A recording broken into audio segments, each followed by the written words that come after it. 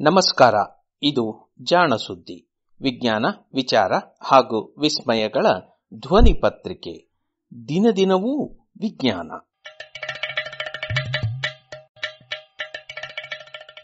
ಸಂಪುಟ ಮೂರು, ಸಂಚಿಕೆ ಇನ್ನೂರ ಇಪ್ಪತ್ತೈದು, ಮೇ ನಾಲ್ಕು, ಎರಡು ಸಾವಿರದ ಇಪ್ಪತ್ತು. ಸುದ್ದಿ ಸಂಶೋಧನೆ.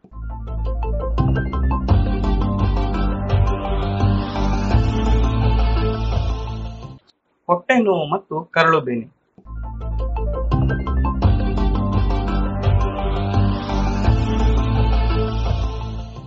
ಇದೇನಿದು? ಎರಡು ಒಂದೇ ಅಲ್ಲವೇ ಎಂದಿರಾ? ಇಲ್ಲ.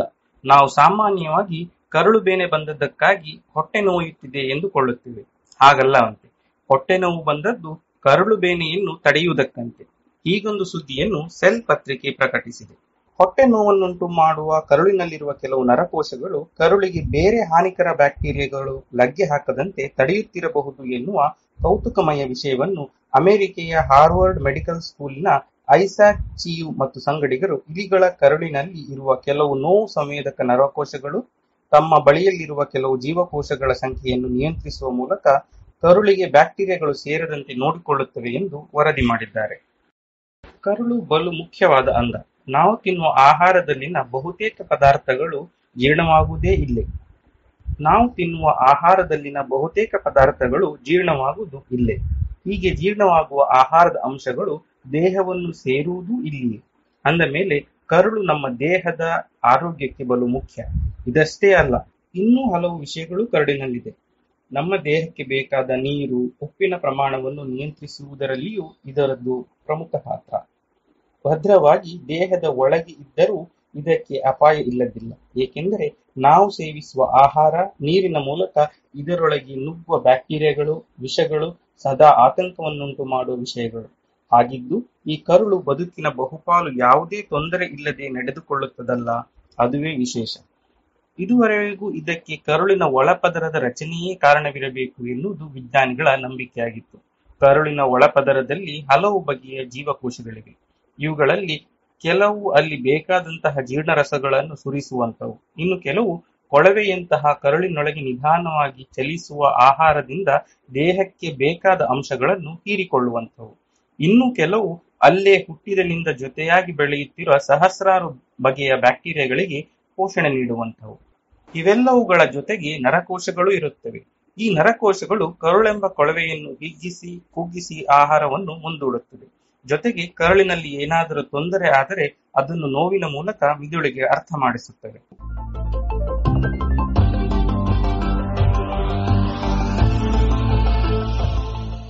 ಕರುಳಿಗೆ ತೊಂದರೆ ಎಂದರೆ ಬಹುತೇಕ ಬ್ಯಾಕ್ಟೀರಿಯಾಗಳ ಕಾಟ. ಇವು ಒಂದೆರಡಲ್ಲ. ಸಾಮಾನ್ಯ ಬೇಧಿಯನ್ನುಂಟು ಮಾಡುವ ಎಸ್ಚೆರಿಷಿಯಾ ಕೊಲೈ ಟೈಫಾಯ್ಡ್ ತರುವ ಸಾಲ್ಮನೆಲ್ಲಾ ಟೈಫಿಮೀರಿಯಂ ಕಾಲರ ತರುವ ವಿಬ್ರಿಯೋ ಕಾಲರೆ ಮುಂತಾದ ಅವಕಾಶವಾದಿ ರೋಗಕಾರಕಗಳು ಕರಳಿನೊಳಗಿಂದ ನುಸುಳಲು ಸದಾ ಕಾಯುತ್ತಿರುತ್ತವೆ. ಆದರೆ ಇವಕ್ಕೆ ಅಲ್ಲಿ ನುಗ್ಗಲು ಓಬವನ್ನ ಕಿಂಡಿ ಸಿಗುವುದಿಲ್ಲ. ಹೀಗಾಗಿ ಹೀಗಾಗಿ ಅನಂತರ ಮಲದ ಜೊತೆಗೆ ಹೊರಹೋಗಿ ಬಿಡುತ್ತವೆ ಒಂದು ವೇಳೆ ಹೇಗಾದರೂ ಮಾಡಿ ಇವು ಕರಳಿನೊಳಗೆ ಒಳಹೊಕ್ಕವೋ, ಅದನ್ನು ಗುರುತಿಸಿ ನೋವಿನ ನರಗಳು ಸಂದೇಶ ಕಳಿಸುತ್ತವೆ. ಅಷ್ಟರೊಳಗೆ ಕರಳಿನ ಒಳಪದರದಲ್ಲಿಯೇ ಇರುವ ಕೆಲವು ಜೀವಕೋಶಗಳು ಈ ಬ್ಯಾಕ್ಟೀರಿಯಾಗಳ ಜೊತೆಗೆ ಹೋರಾಡಲು ಪ್ರಯತ್ನಿಸುತ್ತವೆ. ಇವೆಲ್ಲದರಲ್ಲಿಯೂ ಸೋತರಷ್ಟೇ ನಮಗೆ ಕರಳು ಬೇನೆ ಬರುವುದು. ಈ ಎಲ್ಲಾ ಕ್ರಿಯೆಗಳಲ್ಲಿ ನೋವಿನ ನರಗಳ ಪಾತ್ರ ಬಲು ಕಡಿಮೆ ಎಂಬ ಭಾವನೆ ಅದು ಐಸಾಕ್ ಚಿಯುರವರ ಸಂಶೋಧನೆಯಿಂದ ತುಸು ಬದಲಾಗುವಂತಿದೆ. ನೋವಿನ ನರಕೋಶಗಳು ಕೇವಲ ಕಹಳೆಯೂದಿ ವೈರಿ ಇರುವುದನ್ನು ತಿಳಿಸುವುದಲ್ಲ. ಇವು ಕೂಡ ಯುದ್ಧದಲ್ಲಿ ನೇರವಾಗಿ ಭಾಗವಹಿಸಿ ಕರುಳನ್ನು ರಕ್ಷಿಸುತ್ತವೆ ಎನ್ನುತ್ತಾರೆ ಚೀಯು ಅದು ಹೇಗೆ ಎಂದಿರಾ? ಕರುಳಿನಲ್ಲಿ ಇರುವುದು ಒಂದು ಎರಡು ನರಗಳಲ್ಲ. ಇದರಲ್ಲಿ ಸುಮಾರು ಒಂದು ಕೋಟಿ ನರಕೋಶಗಳ ಜಾಲವೇ ಅಡಗಿದೆ. ಇವು ಕರುಳಿನ ಹಲವು ಕಾರ್ಯಗಳನ್ನು ನಿಭಾಯಿಸುತ್ತವೆ. ಕರುಳಿನೊಳಗೆ ರಕ್ತ ಚಲನೆ ಸರಿಯಾಗಿ ಆಗಬೇಕಾದರೂ ಈ ನರಗಳು ಬೇಕು. ಕರುಳು ರಬ್ಬರ್ ಟ್ಯೂಬಿನಂತೆ ಬಳುಕಿ ಚಲಿಸುವುದಕ್ಕೂ ಇದುವೇ ಕಾರಣ. ಇದರಿಂದಾಗಿ ನಮ್ಮ ಜೀರ್ಣಕ್ರಿಯೆಯು ಸರಾಗವಾಗಿ ನಡೆಯುತ್ತದೆ. ಈ ಸಂಕೀರ್ಣ ಜಾಲದಲ್ಲಿ ಕೆಲವು ನೋವು ಉಣ್ಣುವ ನರಕೋಶಗಳೂ ಇವೆ. ಇವನ್ನು ನೋವು ಸಂವೇದಿ ಅಥವಾ ನೋಸಿಸೆಪ್ಟಾರ್ ನರಕೋಶಗಳು ಎನ್ನುತ್ತಾರೆ. ಇವು ಅತಿ ಉಷ್ಣ, ಅತಿ ಶೀತ ರಾಸಾಯನಿಕಗಳು ಅಥವಾ ಗಾಯವಾದಾಗ ಚುರುಕಾಗಿ ಪ್ರತಿಕ್ರಿಯಿಸುತ್ತದೆ ಸಂಕೇತಗಳನ್ನು ಸೃಷ್ಟಿಸಿ ಮೆದುಳಿಗೆ ಸಂದೇಶ ಮುಟ್ಟಿಸುತ್ತವೆ. ಜೊತೆಗೆ ಇವು ನೇರವಾಗಿ ಇಲ್ಲವೋ ಪರೋಕ್ಷವಾಗಿ ರೋಗಕಾರಕ ಜೀವಿಗಳಲ್ಲಿರುವ ಕೆಲವು ರಾಸಾಯನಿಕಗಳಿಗೆ ಸ್ಪಂದಿಸುತ್ತವೆ. ಇವೆಲ್ಲವೂ ನಮ್ಮ ಹೊಟ್ಟೆಯಲ್ಲಿ ನೋವುಂಟಾಗುವುದಕ್ಕೆ ಕಾರಣ. ಈ ನರಕೋಶಗಳು ಕೇವಲ ನೋವಿಗೆ ಸ್ಪಂದಿಸುತ್ತವೆಯಷ್ಟೆಯೋ ಅಥವಾ ಬ್ಯಾಕ್ಟೀರಿಯಾಗಳ ಜೊತೆಗೆ ನೇರವಾಗಿ ಗುದ್ದಾಡುತ್ತವೆಯೋ ಎನ್ನುವುದು ಪ್ರಶ್ನೆ. ಈ ಪ್ರಶ್ನೆಗೆ ಉತ್ತರ ಹುಡುಕಲೆಂದೇ ಚೀಯು ಮತ್ತು ಸಂಗಡಿಗರು ಪ್ರಯೋಗಗಳನ್ನು ಕೈಗೊಂಡರು. ಕರುಳನ್ನು ಬಾಧಿಸುವ ಸಾಲ್ಮನೆಲ್ಲ ಬ್ಯಾಕ್ಟೀರಿಯಾವನ್ನು ಈ ಪರೀಕ್ಷೆಗೆ ಬಳಸಿದ್ದಾರೆ. ಕರುಳಿನಲ್ಲಿ ಸಾಲ್ಮನೆಲ್ಲ ನೆಲೆಗೊಂಡರೆ ಹಲವು ವಿವಿಧದ ತೊಂದರೆಗಳಾಗುತ್ತವೆ. ಬಲು ಸಾಮಾನ್ಯವಾದ ಬೇದಿಯಿಂದ ಹಿಡಿದು ಕೆಲವೊಮ್ಮೆ ಜೀವಕ್ಕೆ ಮಾರಕವಾಗುವಂತೆಯೂ ಸೋಂಕಿರಬಹುದು. ಕೆಲವು ಸಂದರ್ಭಗಳಲ್ಲಿ ಈ ಸೋಂಕು ಕರುಳಿನಲ್ಲಿ ಆರಂಭವಾಗಿ ಅನಂತರ ಯಕೃತ್ತು ಅಥವಾ ಸ್ಪ್ಲೀನ್ ಗ್ರಂಥಿಗಳನ್ನು ತಲುಪಬಹುದು. ಕೊಲ್ಲುವ ಕಾಯಿಲೆಯೂ ಆಗಬಹುದು. ಹೀಗೆ ಸಾಲ್ಮಿನೆಲ್ಲ ದೇಹದೊಳಗೆ ನುಸುಳುವುದಕ್ಕೆ ದಿಡ್ಡಿ ಬಾಗಿಲೇನೂ ಇಲ್ಲ. ಆದರೆ ಅದು ಕೆಲವು ಕಿಂಡಿಗಳನ್ನು ಹುಡುಕಿ ಅಲ್ಲಿಂದ ಒಳಗೆ ನುಸುಳಿಕೊಳ್ಳುತ್ತವೆ ಕರುಳಿನಲ್ಲಿ ಪೇಯರ್ನ ತೇಪೆಗಳು ಎನ್ನುವ ಜಾಗಗಳಿವೆ. ಇವುಗಳಲ್ಲಿ ದೇಹ ರಕ್ಷೆಯ ಜೀವಕೋಶಗಳಿರುತ್ತವೆ. ಅಲ್ಲದೆ ಎಂ ಕೋಶಗಳೆಂಬ ಕೆಲವು ವಿಶಿಷ್ಟ ಕೋಶಗಳು ಇರುತ್ತವೆ. ಇಲ್ಲಿಗೆ ರಕ್ತನಾಳಗಳ ಸರಬರಾಜು ಹೆಚ್ಚು. ಹಾಗೆಯೇ ಈ ತೇಪೆಗಳ ಪಕ್ಕದಲ್ಲಿ ಅನಿವಾರ್ಯವೂ ಎಂಬಂತೆ ನೋವು ನರಕೋಶಗಳು ಇರುವುದನ್ನು ಕಾಣಬಹುದು. ಈ ನರಕೋಶಗಳು ನರಗಳಂತಹ ತಮ್ಮ ಕೈಯನ್ನು ಚಾಚಿ ಪೇಯರ್ನ ತೇಪೆಯನ್ನು ಮುಟ್ಟುತ್ತಿರುತ್ತವೆ. ಇದು ಬಹುಶಃ ಪೇಯರ್ನ ತೇಪೆಯಲ್ಲಿ ನಡೆಯುವ ರಕ್ಷಾ ಕಾರ್ಯಗಳು ಹಾಗೂ ಅಲ್ಲಿಗೆ ದಾಳಿ ಇಡುವ ರೋಗಜನಕಗಳ ಬಗ್ಗೆ ಕಣ್ಗಾವಲಿಡಲು ಇದ್ದಿರಬಹುದು ಎನ್ನುವ ಊಹೆ ಇತ್ತು. ಏಕೆಂದರೆ ಸಾಲ್ಮನೆಲ್ಲಾ ಹಾಗೂ ಇನ್ನೂ ಹಲವು ಕರುಳಿನ ರೋಗಕಾರಕ ರೋಗಾಣುಗಳು ದೇಹದೊಳಗೆ ನುಸುಳಲು ಈ ತೇಪೆಯಲ್ಲಿರುವ ಎಂ ಜೀವಕೋಶಗಳೇ ಗುರಿಯಾಗಿಟ್ಟುಕೊಳ್ಳುತ್ತವೆ. ಅಲ್ಲದೆ ತೇಪೆಯಲ್ಲಿ ನಮ್ಮ ಕರುಳಿನಲ್ಲಿರುವ ಸ್ನೇಹಿ ಬ್ಯಾಕ್ಟೀರಿಯಾಗಳು ನೆಲೆಯಾಗಿರುತ್ತವೆ. ಇವೆಲ್ಲ ಕಾರಣದಿಂದಾಗಿ ಕರುಳಿಗೆ ರೋಗ ಉಂಟಾಗಲಾಗಲಿ ಅಥವಾ ರೋಗ ಗುಣವಾಗುವುದಕ್ಕಾಗಲಿ ಪೇಯರ್ನ ತೇಪೆ ಬಲು ಮುಖ್ಯ ಎಂದು ಪರಿಗಣಿಸಬಹುದು.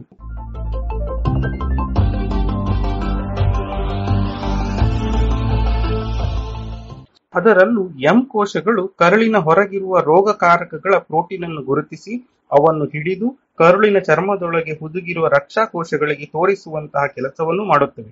ಈ ರಕ್ಷಾ ಕೋಶಗಳು ಅನಂತರ ಈ ಪ್ರೋಟೀನು ಅಥವಾ ರೋಗಕಾರಕದ ವಿರುದ್ಧ ಸೆಣಸಲು ಅಣೆಯಾಗುತ್ತವೆ. ಇಷ್ಟು ಮುಖ್ಯವಾದ ಪೇರ್ನ ತೇಪೆಯ ಬಳಿ ಈ ನೋವಿನ ನರಗಳಿಗೇನು ಕೆಲಸ ಎನ್ನುವುದು ಚಿಯು ಅವರ ಕುತೂಹಲ. ಇದಕ್ಕಾಗಿ ಇವರು ಇಲಿಗಳ ಕರುಳಿಗೆ ಸ್ಯಾಲ್ಮನೆಲ್ಲಾ ಬ್ಯಾಕ್ಟೀರಿಯಾವನ್ನು ಉದ್ದೇಶಪೂರ್ವಕವಾಗಿ ಸೋಂಕಿಸಿದರು.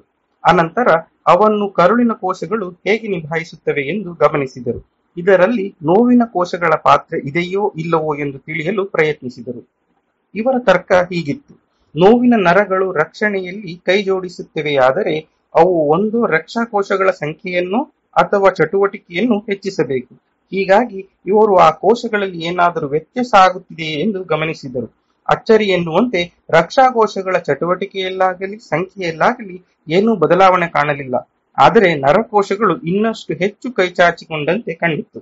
ಇದನ್ನು ಇನ್ನೂ ಕೂಲಂಕುಷವಾಗಿ ಗಮನಿಸಿದಾಗ, ಇವು ವಾಸ್ತವವಾಗಿ ಪೇಯರ್ನ ತೇಪೆಯಲ್ಲಿದ್ದ ಎಂ ಕೋಶಗಳ ಸಂಖ್ಯೆಯನ್ನು ಕಡಿಮೆ ಮಾಡಿದ್ದುವಂತೆ. ಅಂದರೆ ಅರ್ಥ ಇಷ್ಟೇ. ಇವು ನೇರವಾಗಿ ಬ್ಯಾಕ್ಟೀರಿಯಾಗಳು ಒಳನುಸುರುಳಲು ಬಳಸುವ ಗವಾಕ್ಷಿ ಕಿಂಡಿಯನ್ನೇ ಮುಚ್ಚಿಬಿಟ್ಟವು.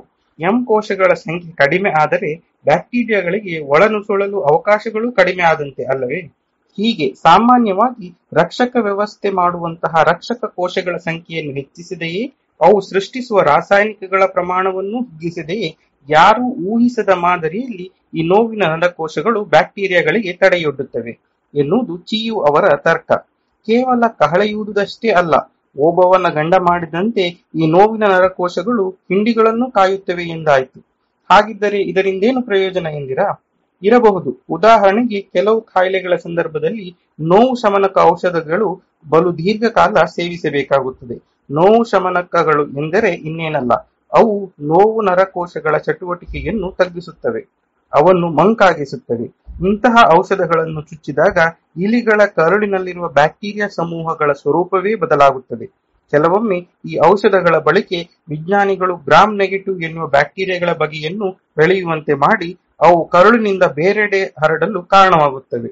ಇದು ಕೆಲವೊಮ್ಮೆ ಸೆಪ್ಸಿಸ್ ನಂತಹ ಮಾರಕ ಪರಿಣಾಮವನ್ನು ಉಂಟು ಮಾಡಬಲ್ಲದು ನೋವಿನ ನರಕೋಶಗಳ ಬಗ್ಗೆ ತಿಳಿದ ಈ ಸಂಗತಿ ಇದು ಹೇಗಾಗುತ್ತದೆ ಎನ್ನುವುದು ವಿವರಿಸಬಲ್ಲದು.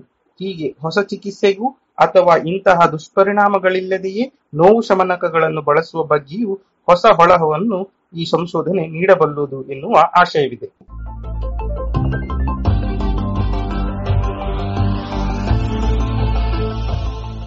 ಇದು ಇಂದಿನ ಸುದ್ದಿ ಸಂಶೋಧನೆ. ರಚನೆ ಕೊಳ್ಳೆಗಾಲ ಶರ್ಮಾ, ಪ್ರಸ್ತುತಿ ಶರತ್ ಬಿಜೂರಿ.